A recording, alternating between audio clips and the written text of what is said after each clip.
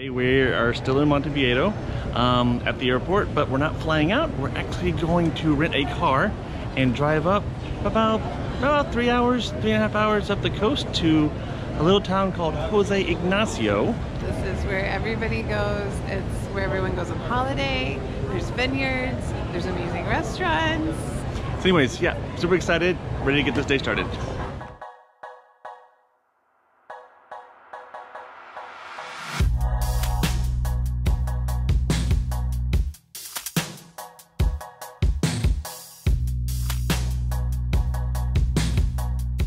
In our last episode, we had just arrived in Uruguay and spent a week exploring the greater Montevideo area.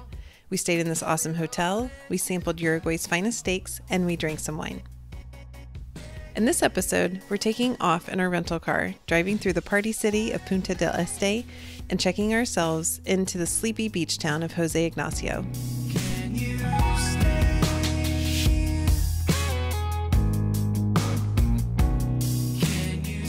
Just one block off the beach, the Airbnb that we booked had a pool, a beautiful kitchen area, and a rooftop terrace with a view of the water for watching the sunsets and the whales.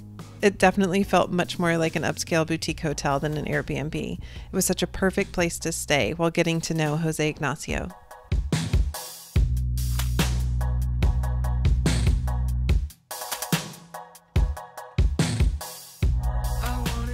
Our incredibly welcoming and informative host said that while we're here, we must take a short drive to the very small town of Garzon to take in the countryside and to eat at Francis Mallmann's restaurant. All right, we are in the tiniest little town called Garzon, and uh, it's probably about 35 minutes from uh, Jose Ignacio. Sorry, I'm trying to remember all the little towns. Anyways, you get here by a dirt road, and once you get here, you realize that it's really just a few uh, kind of buildings around this little main square. And the main attraction is the restaurant here, owned by Francis Mallmann, who's a legend.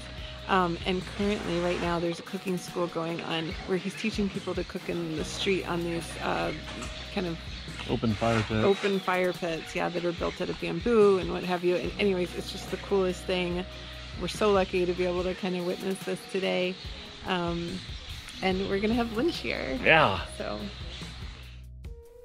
Francis Mallmann is a world renowned, albeit eccentric chef, known for his cooking techniques over an open fire. He calls Patagonia home, but has deep roots in Uruguay as well. His love for ember and flame are unparalleled.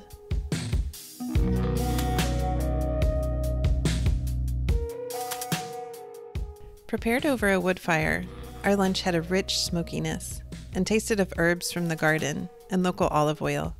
The portions were grand and fit for someone doing the work of a gaucho.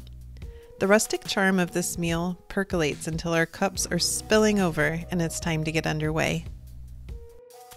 Behind the restaurant is a little courtyard for enjoying drinks either before or after dinner or lunch. Francis even has a small hotel attached to the restaurant if you'd prefer the complete Mallmann experience.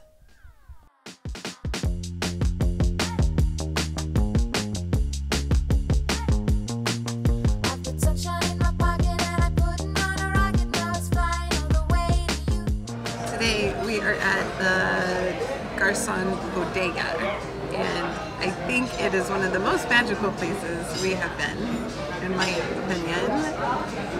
The vineyards are absolutely incredible. The bodega sits up on a hill, and we're here for a tasting lunch. But I think there's so much to explore here. Um, I think you can also just do tastings and whatnot, and I don't know what we're gonna get into today. But I'm so happy right now.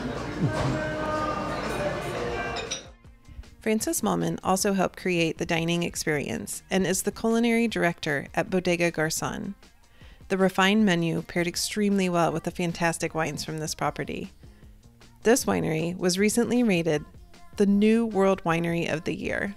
Way to you. I put sunshine in my pocket and I put on a rocket. Now it's flying all the way to you. I put Oh man, we just finished up with lunch and it was so good. I loved it. Best meal we've had in Uruguay, hands down. everything was like a flavor that I haven't had before. Right. You know, the celery salad, you know, stuff like that. You know, just really, really interesting food. So it was, it was so great, and doesn't hurt that this is our scenery. Like this was our view from lunch. It's like these beautiful rolling hills with vineyards. I mean, where are we right now? This is Right. anyway. So all you have to do is get on a flight overnight, take a red eye down to Montevideo, then drive three hours east. You know, 45 minutes to an hour north of that.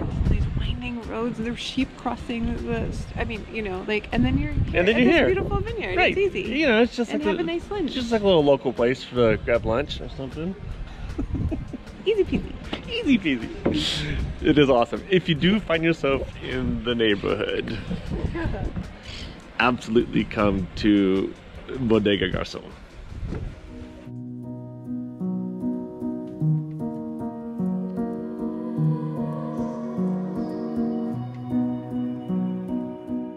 La is on the 50 best restaurants list for Latin America and was ranked as the number one restaurant in Uruguay.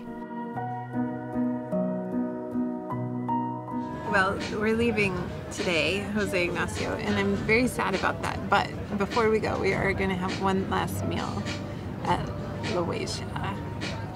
It's a completely different experience from dinner, but um, the ocean is right there. and we're sitting in the sun, and it just, again, I keep saying this place is magical. It is. It is. Many of the locals have standing reservations here because it can be next to impossible to get a table, especially during the busy summer months. Their food concept is straightforward exceedingly fresh fish from the ocean and local meats grilled over the parrilla. Simple and perfectly executed. This restaurant is definitely a winner. After lunch, we rounded everything out with a chocolate molten cake with a side of ice cream. It was the perfect ending to our stay in Jose Ignacio.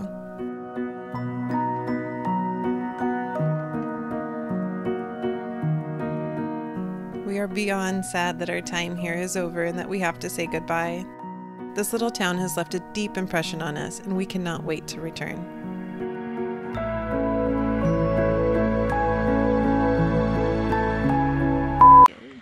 Well, we just finished up with lunch.